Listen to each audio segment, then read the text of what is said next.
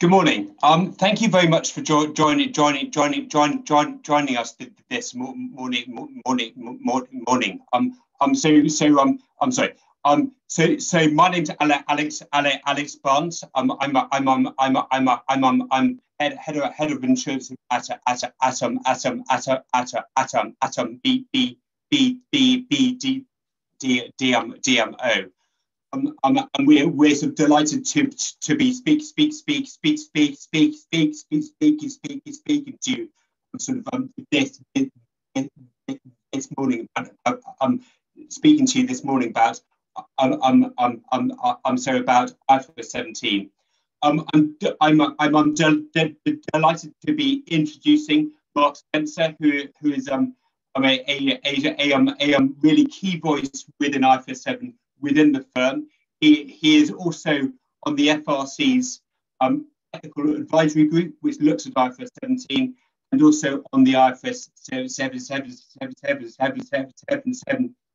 17 discussion group of the ICA double double double double double double double double double WW as well. Um, and we've also got Santiago Restrepo, who is an actual director within our team as well. Um, a few points of admin. First of all, um, all your lines are going to be muted, but we'd be delighted to have questions. So you'll find there's a Q&A function at, at the base of um, Zoom. Um, so please do do um, use of that. Um, also, um, please do let us know if you've got any issues with with, with, with the um, um, um sort of um sort of um tech tech tech tech tech tech tech tech, tech side side side side as well um, your your your your your um, lines lines will be um, um, will, will um, be, be, be, be, be your your your lines will be muted um, but this will be recorded and the slides will be available later. Um, so just moving on to the next slide.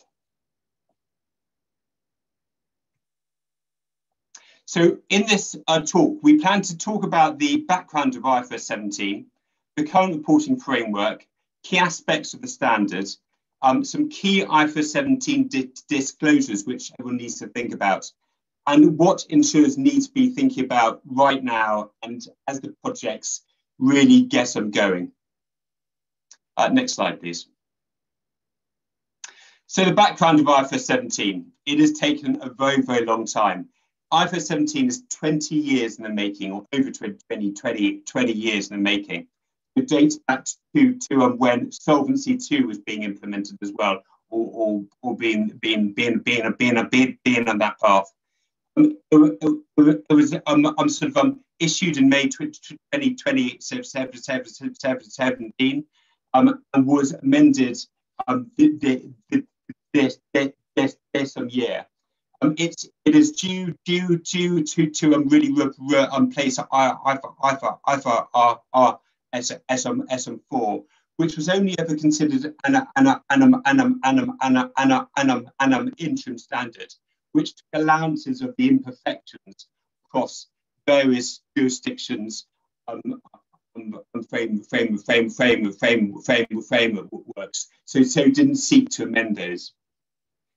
Um, it, it is going to be applied for all insurers um, that adopt IFRS and it will be expected in due course to replace FR, FR, FR, FR, FR, FR, S103 as well. It's going to be effective for all years commencing on or after the 1st of January. Uh, there's been a few delays to, to, to, uh, to um, um, sort of um, re really, really reach that, that, that, that, that, that, that point. Um, and, uh, and of course, there's one year comparatives everyone needs need, needs needs needs need needs to to to really really really think about the restatement of those prior year comparatives as well. Um, you can adopt it early, but it's not been endorsed by the EU yet. Um, so if you're in the EU, you can't yet. Um, and there's a two and a half year implementation period, which is unusually long, and that's due to the complexity of the standard. Next slide, please. So why was IFRS 17 developed? Well, firstly, it's because of the lack of useful information for investors, particularly those not familiar with insurance. So insurance was always considered a bit of a dark art. There's a number of factors that you've got to know the insurance market to be able to understand. Um, so they want to help encourage investors into the insurance market. Also, there's a lack of transparency on profitability. Um, um, um, so, so, so, so, so, we'll, we'll, we'll, we'll, we'll I may, I may, I may explain this a bit more later, um, but there's a lack of proper profit of lack, lack of lack of lack of lack of transparency over where the result comes from, and also lack of comparability between insurance companies who could be doing different prudence levels and various other things, but uh, um, um, between types of insurers where life insurers do different things to um, gen, gen, gen, gen, general insurers, and between jurisdictions as well. And there's also an inconsistency com compared with other industries as well there's a number of practices that are allowed it with with with with with with with um, in in um, insurance that wouldn't be permitted elsewhere. Um, next slide, please. I think we'll be passing over to Mark.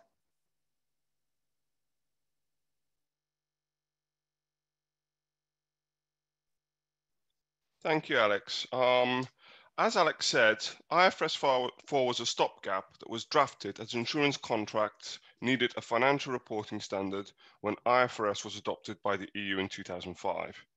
As you should be aware, IFRS 4 did not prescribe the accounting for insurance contracts, as do other standards, such as IAS 39 financial instruments, recognition and measurement does for financial instruments.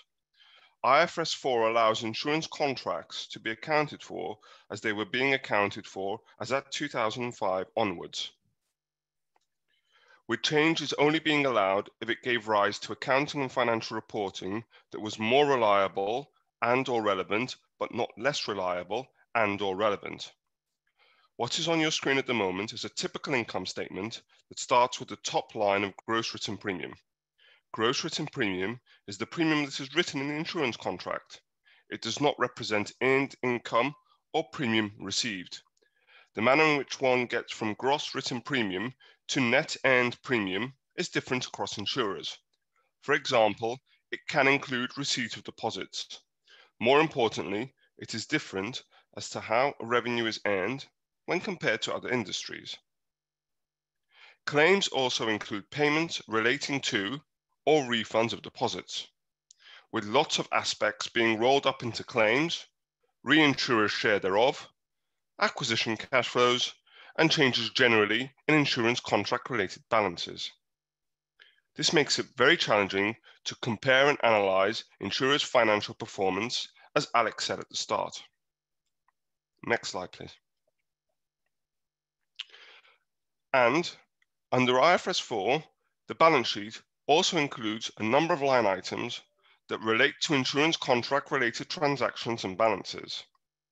These include acquisition costs that have been deferred, premiums receivable, reinsurance contract assets, and a large number of technical provisions, such as claims incurred, incurred but not reported, unearned premium reserve, and unexpired risk reserve. Most of these balances are not discounted. Next slide, please. We will now talk through income statement and balance sheet in an IFRS 17 world. We will do so with IFRS 17's main measurement model in mind, which is quite simply referred to as the general measurement model. Santi will talk about the simplified model that is better known as the premium allocation approach. While we appreciate that a large portion of the insurance contracts written by general insurers will probably be eligible for simplified measurement under the premium allocation approach, we are covering the general measurement model as it is less likely that the reinsurance contracts held or reinsurance contracts written would be eligible for the premium allocation approach in terms of measurement. And remember that under IFRS 17, reinsurance contracts written are to be treated the same way as other insurance contracts written. Also, the standard recognizes that insurers issue a large number of insurance contracts, with the unit of account to which the recognition and measurement requirements of the, stand, of the standard are applied, poss being possibly done so at a group of insurance contracts level. Santi will spend some time on requirements relating to group of insurance contracts, but what I'm talking through now applies equally to both individual insurance contracts and groups of insurance contracts. The IFRS 17 income statement looks very different. This starts with a top line of insurance revenue, which is recognized and measured under a more prescriptive, principles-based approach that is based on the International Accounting Standards Board model of revenue recognition that is similar to that of IFRS 15 revenue from contracts with customers. Insurance revenue represents the earning of premium for insurance risk over the life of the insurance contract. That is to say, it excludes compensation for the time value of money and other financial risk. The expected future cash flows on writing of the insurance contract are discounted to present value, and the difference from the premium received is reserved on balance sheet if the insurance contract is profitable. Losses, similar to IFRS 15, are recognized immediately in profit or loss. The locked-in profit is then earned on a systematic basis over the life of the insurance contract via reference to the provision of insurance contract coverage under the insurance contract. This systematic basis is one that is quantified in the form of coverage units. So, say you have two five-year single premium contracts, then each year could be a coverage unit within the group of insurance contracts, which means that there are 10 coverage units in total. Two tenths of the unearned profit is earned each year and reclassified from the balance sheet to insurance revenue. However, if one policyholder were to cease to exist in year three, then in the third year, one would recognize four tenths of the unearned profit, which is the one tenth on the first insurance contract and the remaining three fifths associated with the second insurance contract, assuming that there is no clawback. This is a very simple illustration of coverage units, and Santi will be elaborating on this concept further on in this presentation. Furthermore, changes arising from the discount used at initial recognition due to the existence of the time value of money and other financial risks is not associated with the provision of insurance services and therefore insurance revenue. This is recognized in the new income statement line item that is known as insurance finance income and expense, which sits outside of the insurance service result. This is because the profit that the insurer would earn for the provision of insurance service for insurance risk is to be determined at initial recognition and is to be substantially recognized with all other financial variables held constant. Or, put another way, the margin for providing services under the insurance contract is locked in. The other component of the insurance service result is insurance service expenses. Cash flows that arise in acquiring insurance revenue are recognized within insurance revenue. Cash flows that arise in servicing the claims, such as claims handling costs, are recognized with insurance service expense. Next slide, please. An IFRS balance 17 balance sheet has a line item for insurance contract liabilities that are made up of two items. The first is the liability for remaining coverage. This represents the discounted future cash flows for which the insurance service has yet to be provided by the insurer to the policyholder. If the insurance contract is onerous, then on initial recognition, one recognizes the loss immediately in insurance revenue so as that the discounted cash flows that are on balance sheet represent the amount needed to perform the insurance services to the policyholder. If the insurance contract is profitable, then the difference between the premium and the discounted future cash flows are reserved on balance sheet as the contractual service margin. Debits to the liability for remaining coverage are recognized in profit and loss as the insurance revenue credits to the extent that they relate to the provision of insurance service or cash flows that were incurred in acquiring the associated insurance contracts.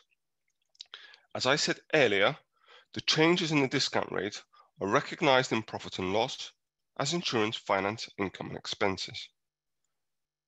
When a claim arises, this is recognized as insurance service expenses in profit or loss and liability for incurred claims on balance sheet. This applies to both claims reported and claims that are, are uh, incurred but not reported. So the valuation of claims under IFRS 17 does not change in principle. However, if the duration to settlement of those claims is greater than 12 months, then this balance needs to be discounted as well, as a pound settled a year in the future is worth less than a pound today, given inflation and other factors. An asset for remaining coverage and an asset for incurred claims is recognized and measured for reinsurance contracts held. But remember, reinsurance contracts written are included with the liability for remaining coverage and the liability for incurred claims. As one can see, an IFRS 17 balance sheet has less insurance contract related balances on it. However, as we will see later on in this presentation, that is because a large amount of the detail and more detail has been moved to the disclosure notes.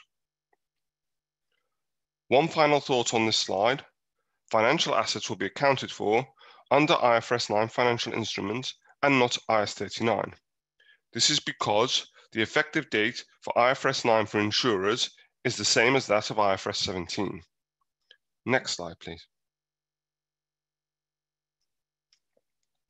And this slide brings together what we have been talking about in terms of IFRS 17's general measurement model for insurance contracts written and reinsurance contracts held, which is colloquially known as the building block approach, as it is made up of the building blocks of future cash flows that are discounted, the risk adjustment, and, if profit profitable, the contractual service margin. The discounted future cash flows represent what is known as the loss component, this is what the insurer expects to lose at initial recognition, but this loss is reassessed each year, whereby the outstanding contractual service margin is reduced to zero before additional losses are recognized immediately in profit or loss. The risk adjustment represents compensation to the insurer for its bearing the uncertainty arising for insurance contracts in relation to the timing and amount of cash flows. The more uncertain the cash flows are, the higher the risk adjustment. This is not to be confused with the premium for illiquidity, which is the time it takes to realize or settle a balance, with such premium for illiquidity being part of the discount rate that is the compensation for time value of money and other financial risk. And I'm now going to pass over to my colleague Santi, who's going to talk a bit more about the building blocks. However, I'll take a short pause here just to check in with Alex to see if there are any questions from the audience. Alex, do we have any questions from the audience?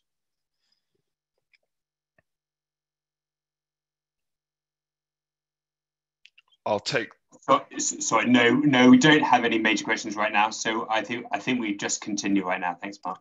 Okay, thank you. Next slide, please. And Santi, over to you. Hello, everyone. Yes, okay, thanks, Mark. So I'll go into a little bit more detail on the building blocks that Mark just showed. So first off is the uh, present value of future cash flows. Now, cash flows included in this block should be all insurance contract related cash flows within the contract boundaries. The definition of what an insurance contract is and its contract boundaries is a complex area. And I will not go into the details today, but would caution that the contract boundaries in IFRS 17 are not necessarily aligned with those of Solvency II. Now, future cash flows within the boundaries are then the premium related cash flows, claims and benefits, expenses. And in expenses, you'll need to consider both allocated and unallocated expenses. And these are claims handling expenses, but also fixed and variable expenses that are attributed to fulfilling insurance contracts. Other cash flows here are uh, acquisition costs directly attributable to the portfolio, premium taxes, claimed recoveries such as subrogation and salvage. Now, because acquisition costs are now included in the cash flows, there is no deferred acquisition cost as in the current standard. Although acquisition cash flows in respect of future renewals can be recognized as an asset or liability until the company recognizes the contract renewals. Now, the estimate of cash flows should be uh, an unbiased best estimate, and that is a probability weighted average of all possible scenarios, which means that for very complex liabilities, there may be a need to use stochastic modeling. Cash flows should also be current, which is they need to be updated to reflect changes in views about likely outcomes. And finally, as Mark mentioned, they should be discounted for the time value of money. The discount rates that you use to, to uh, calculate this discount are not mandated, as is the case in Solvency II. But however, the discount rates should reflect the nature of the insurance liabilities in terms of risk and duration. They should also be current uh, and market consistent, which means that they should be derived from observable market prices. And very importantly as well, the rate of return on assets should not come into the determination of the discount rates unless the liabilities themselves are indexed to these, which will be unlikely the case in general insurance. The standard describes two approaches to determine suitable rates, a bottom-up approach and a top-down approach, but I won't go into further details about these approaches as it is unlikely that uh, for general insurance liabilities, you'd have to go into, into, into that level of detail. Um, there might be some instances where you might want to uh, allow for liquidity premiums, etc. But given the uncertainty in timing and amount of GI claims, it is likely that a risk-free rate is the one that is going to be most suitable. Next slide, please. Now the risk adjustment. The risk adjustment represents the compensation required by the insurer for bearing insurance risk. This adjustment is currently embedded within the liabilities, but without it being visible to the users of the accounts. IFRS 17 now requires us to make it explicit. It is in some ways the equivalent of the Solvency II risk margin or the current margins for prudence. IFRS 17 does not mandate a method by which to calculate such risk adjustment. It will be entity specific. However, if the entity uses a technique other than the confidence level technique, they are required to disclose the details of the technique used and the corresponding confidence level so that users of the accounts can benchmark with other entities. There are a number of characteristics that the risk adjustment should reflect. For instance, Low frequency, high severity risks should have larger risk adjustments than high frequency, low severity ones. Also, similar contracts, but ones that have longer duration should show a higher risk adjustment than those with shorter durations. To make it short, the risk adjustment reflects the appetite of the insurer for insurance risk. And this should be internally consistent across lines of business within the entity meaning that the riskier lines should have higher risk adjustments than the more stable ones. The risk adjustment is expected to be reflected into profit and loss over the life of the risk, in line with the exposure. This means that as time goes by, the inherent risk reduces, and so should the risk adjustment. So for example, if you have a five-year contract with a tail that extends 10 years from inception of the contract, then the risk adjustment should run off over the 10 years. Next slide, please. The contract service margin is that part of the premium that is not part of the claims and benefits, and that is in excess of the risk adjustment and acquisition costs. It is the other element of deferred profit alongside the risk adjustment. On recognition of the contract, it is effectively the balancing item at inception so that no profit is recognized on day one. it represents the risk adjusted unearned profit that will be recognized as the insurer provides its services. It is assumed that the insurance company provides its services while the policy is in force. So for instance, using the same example as before, if you have a five-year contract with a tail that extends 10 years from inception of the contract, then the contract service margin should be recognized as profit over the five years the policy is in force. Now, if, if within that period when the policy is in force, there are changes to the present value of future cash flows in respect of future service, i.e. that unearned exposure, then the contractual service margin will take the hit of that change, in a way dampening the impact on the profit and loss. This can obviously only continue until the contractual service margin is exhausted and becomes zero, and any subsequent deterioration in expected future cash flows would be reflected in the profit and loss. Now, the concept of coverage units is introduced in IFRS 17. And what the coverage units do is that they unitize the contract service margin such so as to identify the portion of the contractual service margin that is to be released as profit during each period. The standard does not specify how to determine the coverage units. And this has generated some debate. Uh, and this debate is documented on several TRG papers. Next slide, please.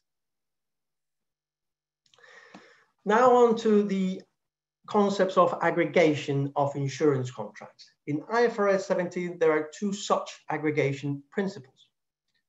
First is the, the aggregation for the measurement of the blocks that I have just described. And the second one is the level of aggregation for the presentation of information in the accounts. I'll start off uh, describing a bit the, uh, the aggregation principles for the measurement of blocks. So IFRS 17, conceives a portfolio as a collection of groups of contracts. The groups within a portfolio are formed by contracts that are subject to similar risks and are managed together. Each of these groups consists of contracts that are issued no more than one year apart. The blocks described in the previous slides will be measured for each of these groups that compose the overall portfolio. And there will be three types of groups. There will be onerous groups, unlikely to be uh, become onerous, and the rest. And by onerous, IFRS 17 means that the net cash, net, the net cash flow within the contract boundary, including the risk adjustment, is estimated to be a net outflow.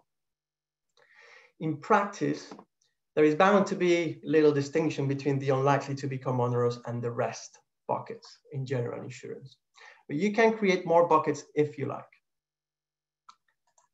Measurement for insurance contracts and outwards reinsurance contracts is to be done separately. And all the considerations that apply to direct business apply to reinsurance contracts as well, with a few exceptions. And these exceptions mainly relate to the uh, onerousness, onerousness principle and the contract service margin. And there are a number of additional complexities with respect to reinsurance, which we will not cover today, as to discuss these in the detail that they merit would take considerable time. Now, moving on to the, uh, the principles of aggregation for presentation. Uh, this concept relates to how the information is presented in the notes to the accounts, that is the P&L and the roll forwards. The main change introduced in IFRS 17 is that direct business or, or inwards business should be shown separately to outwards business. And that means that you'll have P&Ls for inwards business, a roll forwards for inward business, and you'll have P&Ls and uh, roll forwards for that outwards business, that reinsurance that you purchase. Otherwise, there are no additional significant changes between what, what is now required um, uh, and what was previously the case. So the precise guidance is contained in IAS1, uh, and the groups for disclosure should reflect material segments of the business. And these could be either types of contract, say for instance, life, non-life, uh, geographical area, and reportable segment. The guiding principle is that aggregations or disaggregations of information should not obscure useful information, either because you're including too, too much insignificant detail or by not including so much detail, you're aggregating items that have different characteristics. And with this, I hand back over to Mark, who is going to go through some of the uh, disclosures in a bit more detail. Thank you. Thank you very much, Santi. Okay. Just trying to get this. Next slide, please. And as Santi said, we are now going to talk through the disclosures that need to be prepared and disclosed in an IFRS 17 set of financial statements. This arises from the fact that the income statement and balance sheet are simpler in terms of presentation. However, the detail then manifests itself in various forms and components, with an insurer needing to collate the data needed and have the systems and processes in place to be able to adhere to the requirements of the standard. So this slide shows the disclosures required for the liability for remaining coverage for existing business. This requirement is to show a roll forward for the change in the building blocks of the present value of future cash flows, the risk adjustment, and the contractual service margin from the beginning of the period to the end of the period. And this is further disaggregated in terms of past service, current service, and future service. Experience adjustments need to be assessed as to whether they relate to past current, and future service. Past and current experience adjustments are recognized in profit or loss in the period in which they arise, while experience adjustments for future services are recognized on balance sheet. An assessment needs to be performed when the experience adjustment relates to both past and future performance or current and future performance, with this being accounted for accordingly. The impact of changes in the present value of future cash flows and the contractual service margin under the general measurement model also impacts insurance finance income and expense. In the case of the contractual service margin, this is because, as said previously, the difference in the locked-in discount rate when compared to the current discount rate, that is to say the accretion of interest on the contractual service margin, is to be reflected in insurance finance income and expense, not insurance revenue. While all other changes in financial variables are recognized in insurance finance income and expense. It is currently being debated as to whether the need to lock in a discount rate under the general measurement model necessitates, necessitates the need to also lock in all financial variables that are associated with that locked in discount rate when it comes to the contractual service margin. The effect of reinsurance contracts held is to be presented separately, but reinsurance contracts written are treated the same as insurance contracts written. And this means that you can have income in terms of insurance finance income and expense, given it is profitable, probable the that the financial variables on a reinsurance contract held will move in an opposite direction to the underlying direct insurance contracts that have been written and subsequently reinsured.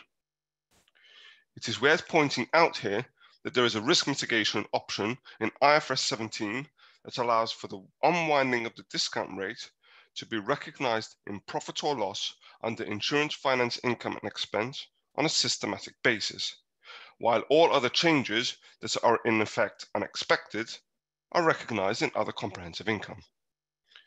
This decreases the volatility in the profit or loss for risks that are not insurance risk related but financial risk related, and also allows for a degree of symmetry between financial assets accounting if these are measured at fair value through other comprehensive income. This is because under such IFRS 9 classification basis, changes in fair value due to changes on, in rates on said financial assets are recognized in other comprehensive income, with examples in changes in rates being those relating to foreign exchange, interest rate, and credit spreads for foreign denominated fixed rate bonds that are held to the extent that such foreign denominated fixed rate bonds are held by the insurer. The last line of the roll forward represents the cash outflow or inflow during the year for existing business, which can be due to either premiums received, claims being paid, and so on and so forth. Next slide, please.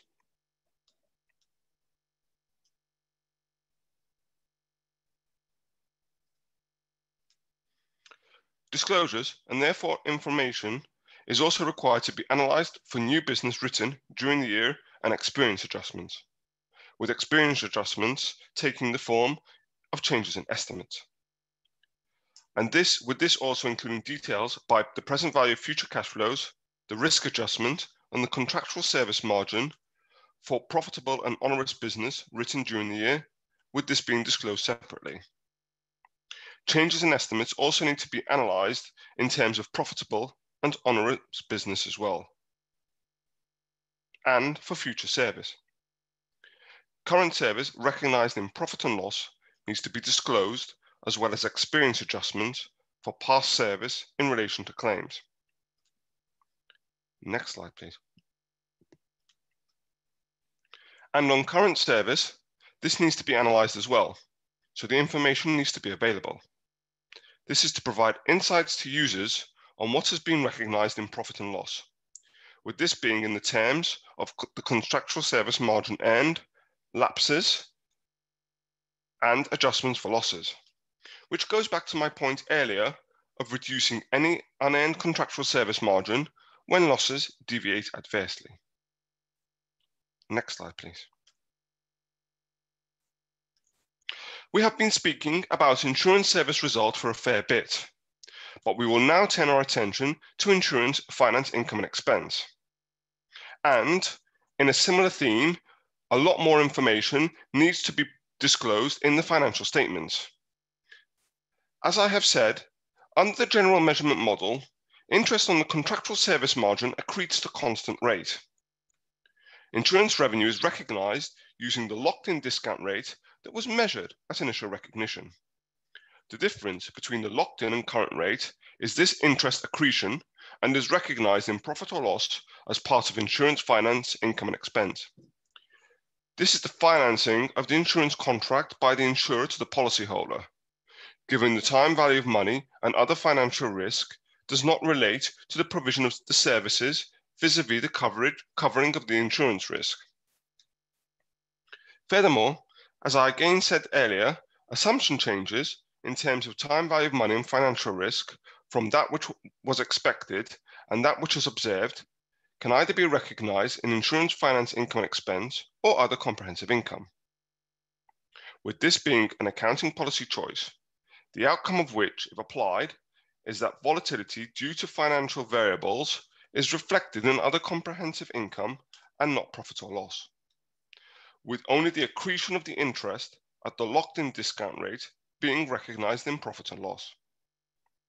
Insurance finance income and expense needs to be analyzed by estimates of the present value of future cash flows and the contractual service margin. The risk adjustment affects insurance revenue as it is a direct effect of the uncertainty in the timing of the insurance-related, risk-related cash flows with this being more uncertain depending on the nature of the insurance risk and the insurance contract duration. Please remember that under the general measurement model, it is still being debated as to whether the locking in of the discount rate requires locking in and therefore tracking of all financial variables that are factored into the estimating of that discount rate. With such variables, financial variables, including interest, inflation, and foreign currency, amongst other areas of financial risk that may influence the insurance contract written. Next slide, please. Cash flows also need to be analysed in terms of how they flow into the estimation of insurance contract related balances. For example, premiums received with IFRS 17 distinguishing between the treatment of premiums received and receivable. Another example is claims paid, which also include the payment of other benefits and associated cash flows incurred in paying those claims and benefits, as well as insurance acquisition cash flows that are associated with the obtaining of the premiums. These cash flows flow up into the estimation of the liability for remaining coverage and liability for incurred claims, and into the asset for remaining coverage and asset for incurred claims when it comes to reinsurance contracts held. The fulfillment cash flows are the discounted expected cash flows, which also includes consideration of the risk adjustment and acquisition cash flows. The contractual service margin is the difference between this and the actual premium received if the insurance contract is profitable. Next slide, please. This slide is just to remind you that insurance service result disclosures need to be analysed by insurance revenue and insurance service expenses, while insurance contract balances need to be analysed in terms of liability for remaining coverage and liability for incurred claims, with reinsurance contracts held being disclosed separately, as is insurance finance income and expenses. Some additional thoughts on disclosure are, on reinsurance contracts held, it is being debated as to whether allocated reinsurance premiums can be presented together with insurance revenue and recoveries together with insurance service expenses from the underlying issued insurance contracts or as a single line in the income statement. It is also being debated as to whether non-performance by reinsurers is financial risk or not, and therefore whether it is to be presented in insurance revenue or insurance finance income and expenses. This is because non-performance is being seen as being specific to the parties and this being highlighted separately from financial risk in part of the standard, but being part of financial risk in other parts of the standard. Furthermore, the treatment of disputes is also being debated. Given IFRS 17's requirements on initial recognition, there is also debate as to whether there is a requirement in IFRS 17 to present pre-coverage liabilities together with insurance contract liabilities. And this is because IFRS 17 has requirements on when insurance contract liabilities are recognized in terms of the policyholder being covered, the premium being due, or the insurance contract being onerous with an insurance contract liability only being recognizable at the earliest of these three dates. Next slide, please.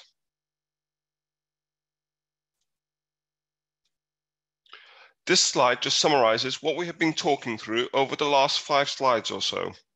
However, one also needs to reconcile the liability for remaining coverage in terms of the cash flows, excluding the loss component and the loss component.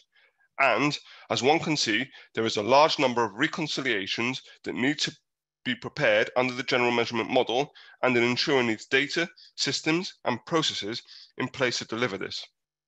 And at this point in time, I will hand back to Santi for him to provide a few more insights. Santi. Thanks, thanks, Mark. Um, so next slide, please. So I'll, uh, I'll whisk through the uh, premium allocation approach. The uh, premium allocation approach is a simplified model for eligible insurance contracts only. To be eligible, the contract needs to have, or the contract needs to have coverage period of one year or less, or the premium allocation approach can be shown to represent a reasonable approximation of the general model. The liability for remaining coverage is will be something similar to what we now see as UPR minus deferred acquisition cost. So something we can all relate to. And there is further good news, which is that the liability for remaining coverage earns as revenue in a similar way as in the current standard, that is in a straight line or in relation to the expected timing of incurred claims. And the IASB has included the premium allocation approach in recognition that for general insurance contracts, the analysis of unearned profit locked in new business is less important than for life insurance contracts. Under the premium allocation approach, you will also have additional choices. So you can opt out of discounting the liability for remaining coverage, but only if at contract inception, the time between providing each part of the coverage and the related premium due date is no more than a year apart. And the other option is that you can also opt out from discounting the liability for incurred claims, but only if claims are paid within a year of them being incurred. Next slide, please. So the premium allocation approach is a simplified model, mainly because the contractual service margin is not a consideration. and there is no need to disclose fulfillment cash flows and risk adjustment for future service. However, there is still a need to identify onerous groups of contracts, and this necessarily means that an estimate of the fulfillment cash flows still needs to happen behind the scenes, because this is how the test of onerousness is defined. The liability for incurred claims is the same as for the general model. And that is, it is at discount, it needs to be discounted, it includes a risk adjustment, and is the present value of all future cash flows shown at the best estimate basis. And still, the, the, the requirement to separate inwards business from uh, outwards reinsurance still applies. And all the difficulties with reinsurance contracts remain. Next slide, please. And even if the premium allocation approach is a simpler, a simpler model than the general model, there, there is still considerable disclosure required. For example, this uh, the, the revenue and expense reconciliation, you'll still need to do that even if you use the premium allocation approach. Uh, naturally, the roll forward that bridges the insurance contract liabilities between periods via the changes in the building blocks is no not required under the premium allocation model. So now I'll hand back to uh, Mark and Alex for some closing remarks, and then we move on to questions. Thanks.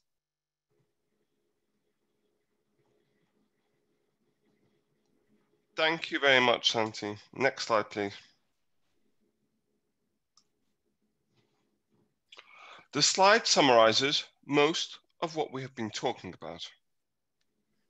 On reinsurance contracts held, what I would like to say is that an exception to the general measurement model is that a gain on a reinsurance contract held can be recognized in profit and loss upon initial recognition to the extent that it is not greater than the loss on the underlying direct insurance contracts written, with a loss recovery component being recognized for reinsurance contracts held.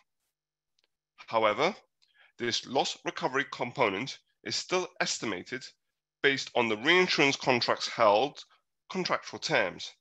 That is to say, only in relation to the risk that it covers vis-a-vis -vis the, the underlying direct insurance contracts written that is associated with it. Another point on reinsurance is that premiums that are not yet due but relating to past service are to be recognized in insurance service expense, given they form part of the liability for incurred claims to the extent that insurance services have already been provided. Or, put another way, they follow the associated cash flows that have been recognized in insurance service expense. Finally, on reinsurance contracts held, a high degree of judgment needs to be applied when following the premium allocation approach for said reinsurance contracts held. On acquisition cash flows, what I would like to say is that these need to be deferred if the contract's duration is more than a year or the general measurement model is being applied. These can be expensive incurred under the premium allocation, and the duration is less than a year. They can also make group of insurance contracts onerous as they form part of the future cash flows. Also, with the June 2020 amendments, acquisition cash flows need to be deferred, unless, as I said, the duration of the insurance contract is less than a year and the premium allocation approach is being applied to said insurance contracts. These deferred acquisition cash flows represent an asset on balance sheet that need to be allocated to renewals on a systematic basis and also be tested annually for impairment. Not unsurprisingly, the allocation of acquisition cash flows to groups of insurance contracts based on renewals and the application of the impairment test are judgmental in nature and areas of debate. Next slide, please. And I will now hand back to Alex. Thank you. Thanks very much. So, um, so what do insurers need to, to um, really think about? Well, I think first of all, it's important to just make sure everyone's got the right training. This is a phenomenally complex standard, um, and everyone's got to get used to it. Both the accountants, the actuaries, those those charged with governance, stakeholders. So training is essential.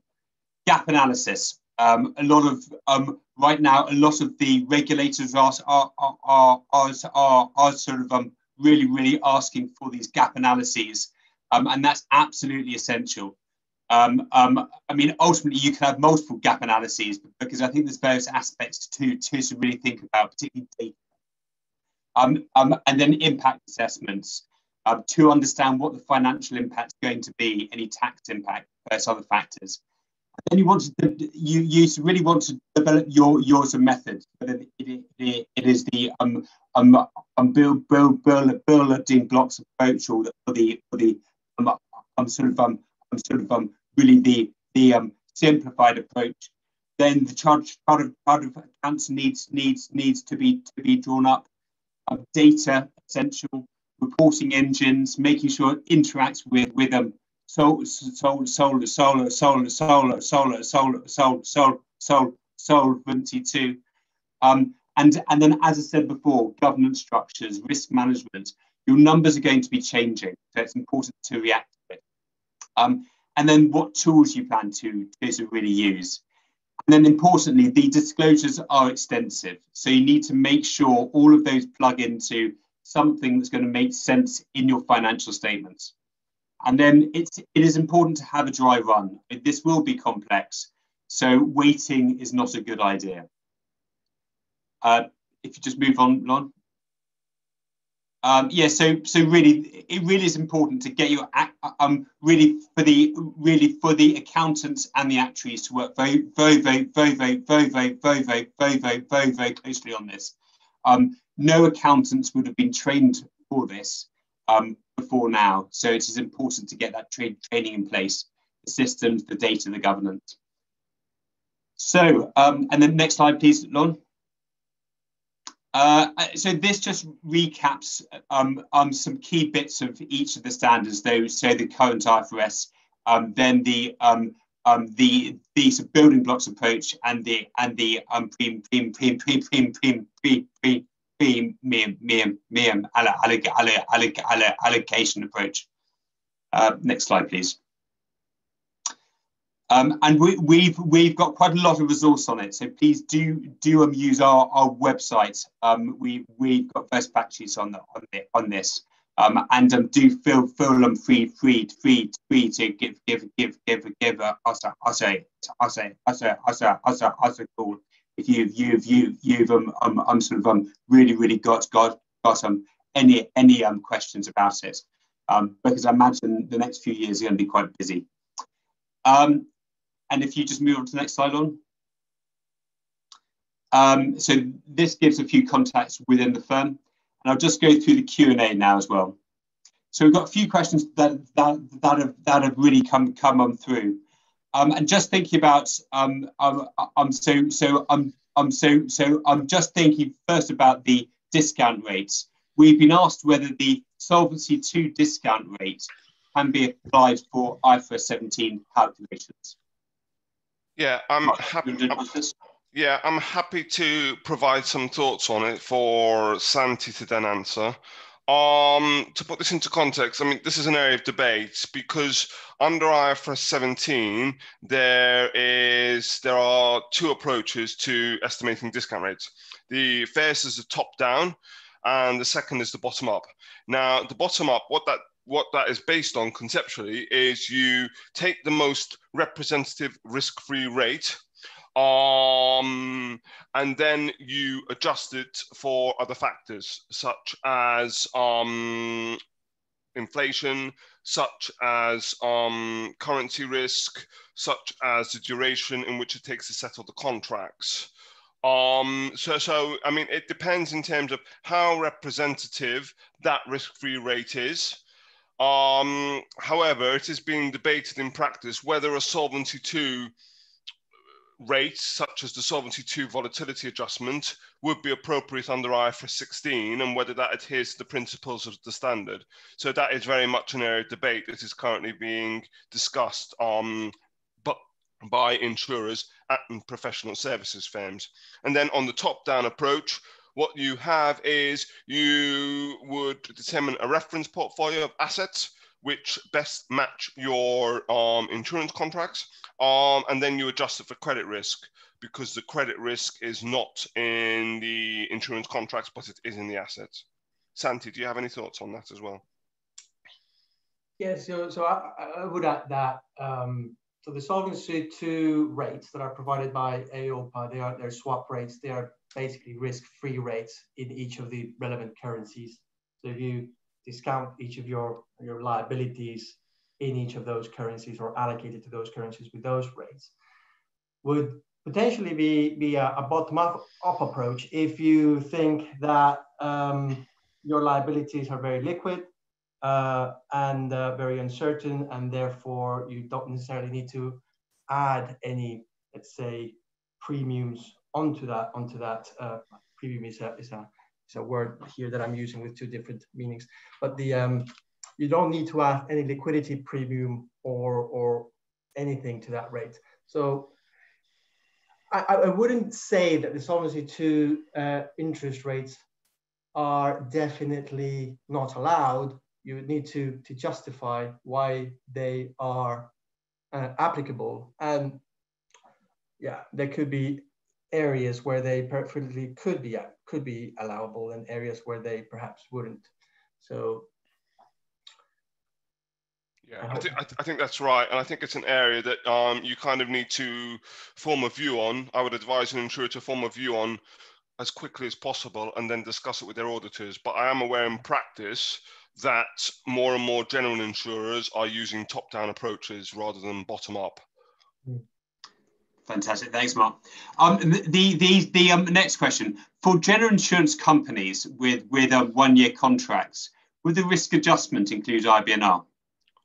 Hmm. Um, well, I mean, again, happy to take that first. I mean, I think the thing that comes to my mind is under IFRS 17, you have the liability for remaining coverage, and you have the liability for incurred claims, which make up your insurance contract balance.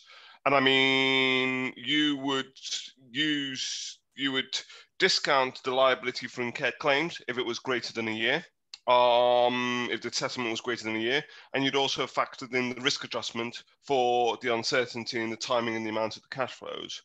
So I think IBNR is something other than the risk adjustment. I mean, IBNR would be part of your liability for incurred claims under IFRS 17, which would include the risk adjustment and also need to be discounted if its tail is longer than a year. Santi. Yeah, so the, uh, well, depends on what your IBNR currently includes, right? So if it's um, um, a very prudent IBNR or, or if it isn't. So under IFRS 17, you would go, you get a best estimate of your, of, of your claims. Yeah. Uh, and translate that into cash flow. So those cash flows that you have the best estimate will necessarily include a portion of incurred but not reported because they're deemed to be the cash flows that you're going to pay almost on an ultimate basis on that, that what you have already earned, let's say. Um, so um, in that sense, the risk adjustment is on top of what you think is your best estimate.